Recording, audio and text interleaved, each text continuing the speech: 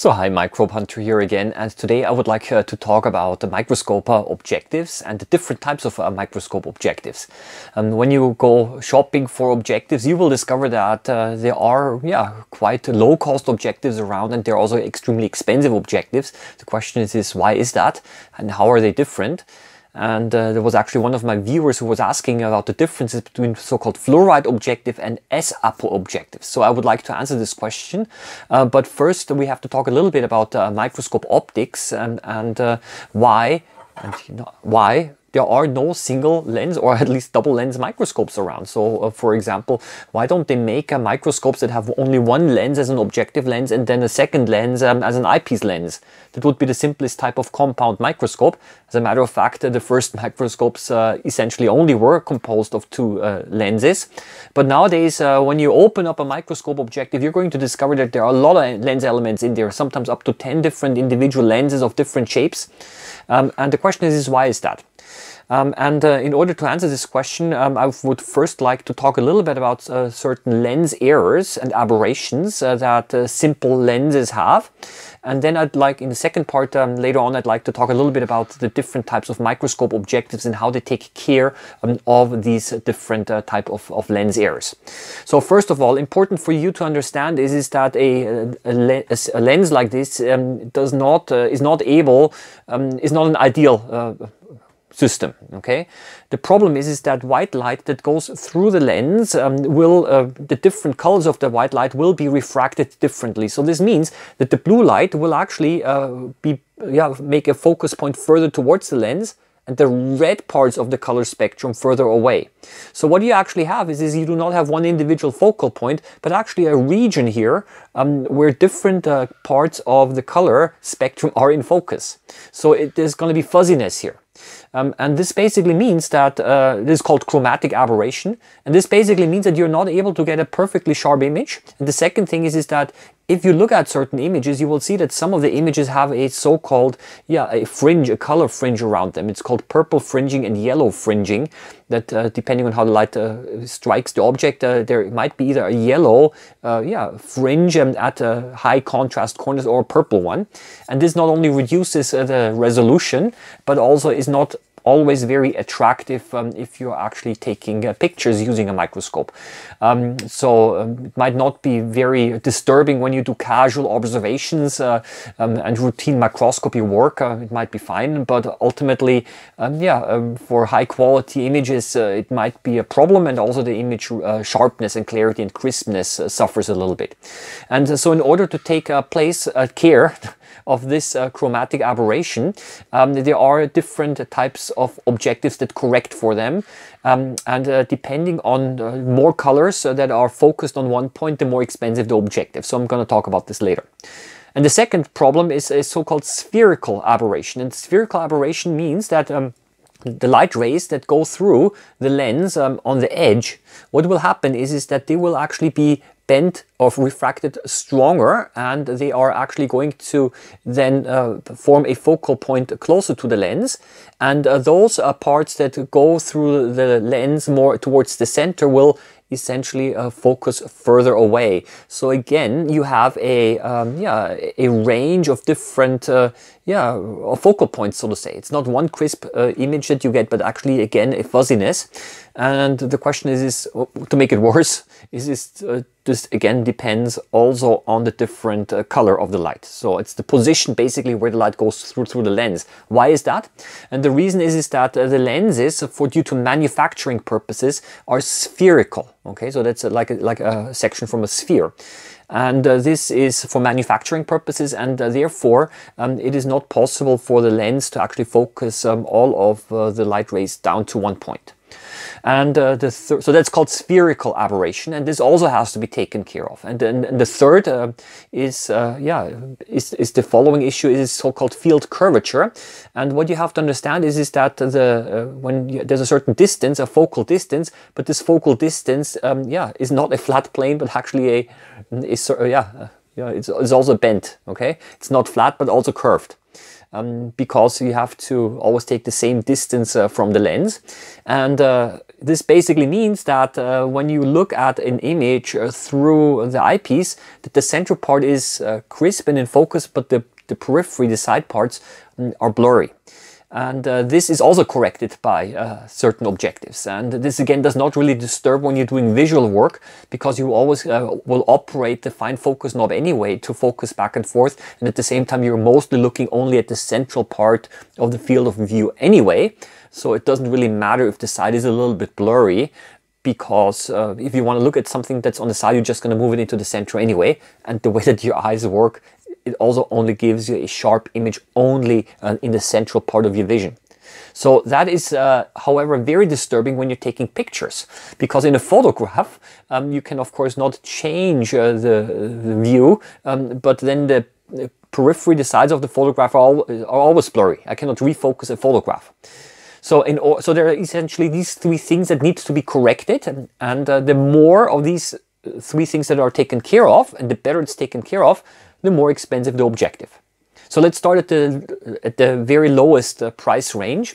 This is nowadays when you buy a microscope, um, a routine microscope, um, usually um, also used for um, educational use and routine laboratory use um, then uh, you, these uh, microscopes always come with so-called achromatic objectives. And the achromatic objectives, what they do is, they take care of two colors um, of the light and uh, to, they correct chromatic aberration for two colors.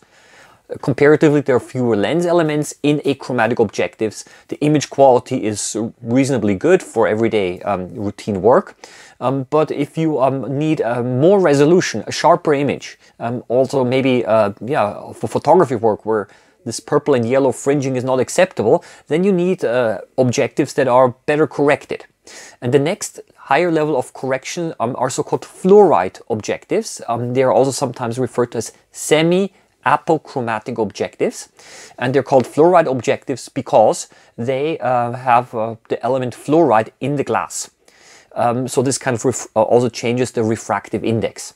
And uh, this, these fluorite objectives, they correct uh, more colors uh, for chromatic aberration and also more for spherical aberration. And yeah, and then the next higher degree of correction, also called the apochrom apochromatic objectives. And those apochromatic objectives, uh, again, correct, uh, provide a crisper image because yet more colors are corrected um, for chromatic and for spherical aberration. And then you have the so-called the super apochromatic objectives. These are pretty specialized and they are corrected even towards the infrared light. The reason why would you actually do that is because if you're using them for fluorescent microscopy, um, then some of the wavelengths that are emitted are very red and, and uh, you also want to make sure that they are also very crisp and in focus and so forth. So those super apochromatic objectives or S-apos, they um, essentially um, provide a crisp image even across a wider color spectrum. So, and that is basically the correction of chromatic and spherical aberration.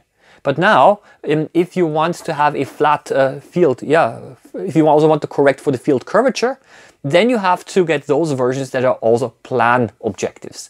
So you can get, for example, uh, achromatic objectives and plan achromatic objectives. You can get uh, fluorite objectives and uh, also plan fluorite objectives and so on. And uh, so the more of these things that you want to have corrected, the essentially the more complex the lens becomes and the more expensive the lens becomes. And one thing that you have to also know is, is that the price of the, um, um, the objectives really explodes. Uh, yeah, so achromatic objectives are relatively cheap, but then uh, those apochromatic plan objectives, I mean, they can cost, uh, especially the highly magnifying one and the good ones, I mean, they can cost several thousand, several thousand euros or, or dollars just for one um, objective alone. Um, but they have very specific um, applications sometimes and it's uh, questionable whether um, amateurs or you know, would actually use them. And for educational use, I would definitely not uh, not go into that direction. Now, let's say that you're interested in really upgrading a microscope uh, to yeah include those um, high performance objectives let's say that this is an, an in your interest. And as a matter of fact, um, I did receive already several times a request on uh, upgrading microscopes.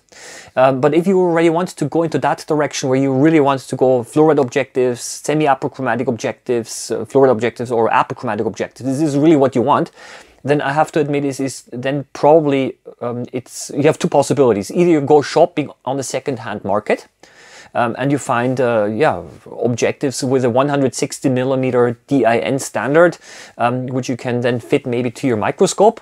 That would be one possibility. Um, or the second possibility is, is that you actually contact one of the larger microscope manufacturers like Olympus, Zeiss, Nikon or Leica. Um, and uh, then you're able to um, obtain, yeah, choose objectives uh, from a wide range, yeah, wide from a wide range of different objectives that they manufacture for all different specific applications. Um, and then you basically call up the company and you say you, you want to have a certain microscope and they will put together the microscope based on your needs based on the objectives requirements that you have. You got to tell them which objectives they have to put yeah, on your microscope.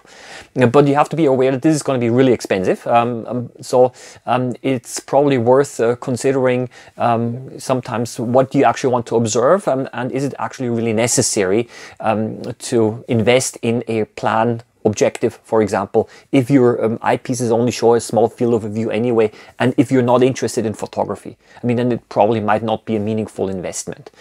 Um, is there any, um, are there any disadvantages beside price, beside cost for um, of those highly corrected objectives, like for example, apochromatic objectives? Um, okay, they're expensive. Is there a disadvantage? Yes. Um, they sometimes have a significantly smaller working distance. So the distance between the, the slide or the cover glass and the objective is, is can be significantly smaller um, than for other objectives. And if you want to uh, find this out yourself, then I recommend that you visit uh, the web pages of one of those large microscope manufacturers that I just mentioned and download a yeah the, the table with uh, where they're comparing all of the different uh, microscope objectives and they will actually also indicate the so-called the working distance and uh, you can see that those uh, the more highly corrected they are um, sometimes also the working distance is significantly smaller. And this of course also means that there are some practical uh, limitations to it. You got to be careful that uh, also the sample is very small and very thin and, and, and, and okay? Um, so I, am just saying that uh, it's not always an advantage and one has to consider a little bit carefully whether the things that you want to buy actually also uh, give you the personal benefit that you're expecting.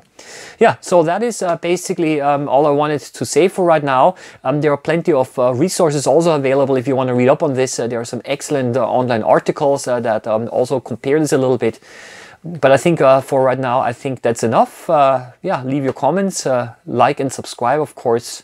A thank you to all of my supporters um, and patrons. Happy microbe hunting as always. See you around next time. Bye bye.